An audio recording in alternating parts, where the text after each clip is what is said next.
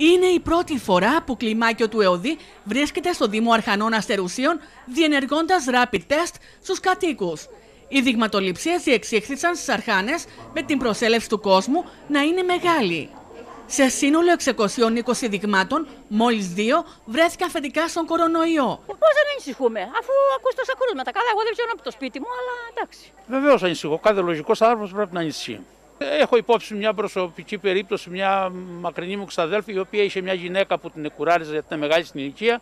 Η γυναίκα δεν ξέρω από πού προσεβεί, την κόλλησε και στην ηλικιωμένη η οποία απεβίωσε. Καλή ενέργεια αυτή που κάνουν και φυσικά πρέπει να επεκταθούν και στην ενδοχώρα. Όσο προσέχουμε είναι καλύτερα. Εγώ είμαι έτοιμος για την Παρασκευή να κάνω το εμβόλιο, αλλά να περάσω να κάνω και τεστ.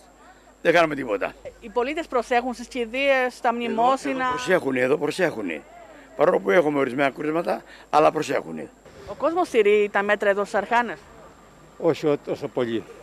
Όχι τόσο πολύ. Η νεολαία προπαντός εξαρτίζεται, δηλαδή φορά τη μάσκα, τη φοράνε από κάτω από το πηγούνι. Ή δεν τη φοράς τη μάσκα, την κάνει τότε; Ε, κατά κάποιο τρόπο τηρούνται. Όχι 100% αλλά κάτι γίνεται.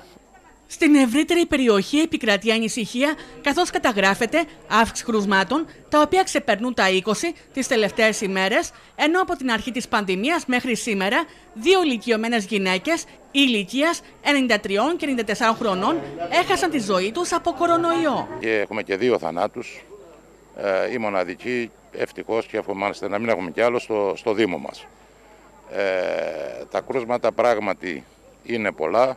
Δηλαδή είναι οικογένειες εδώ στι ε, Αρχάνε. Ναι, είναι οικογένειες και είναι και στενοί παρέε, φίλοι. Τα κρούσματα πράγματι ξεπερνούν τα 20. Υπάρχουν, ε, όπως ξέρετε, και στις Αγίες Παρασκευές είχαμε και στο Αλάγνη είχαμε. Δεν είναι κατά ανάγκη στις Αρχάνες το πρόβλημα ή στο κάθε μέρος που πάμε. Η περιοχή χρειάζεται έλεγχο. Και αυτό μας κάνει να, να έρθουμε για να διαπιστώσουμε ποιο είναι το φορτίο στην περιοχή. Και όπως πάντα αυτό που παρακαλάμε είναι να έρθει ο κόσμος για να δούμε την πραγματική εικόνα της κατάστασης. Εσείς προσέχετε; Ναι, ναι. Είμαι στο σπίτι, είμαι όλη η οικογένεια, η γυναίκα με το παιδί μου. Ε, τώρα τελευταία, τελευταία εβδομάδα ναι. Τελευταία εβδομάδα υπάρχει πρόβλημα. Ναι, ναι, ναι. Ε, δεν προσέχει ο κόσμος. Δεν προσέχει. Όχι μόνο τώρα, από την αρχή. Είναι πιο πολύ ηλικιωμένοι ή νέοι άνθρωποι; Ε, νέοι άνθρωποι. Την διενέργεια επαναλαμβανόμενο τεστ για κορονοϊό στην ευρύτερη περιοχή τονίζει ο Αντιδήμαρχος Μανώλης Αμαριτάκη. Και αυτό που έχει σημασία, πιστεύουμε, είναι ότι ο ΕΟΔΗ πρέπει να συνεχίσει αυτές τις προσπάθειες σε όλο το Δήμο και σε όμορους Δήμους. Την ερχόμενη Δευτέρα το κλιμάκιο του ΕΟΔΗ θα βρεθεί στο Ασίμι.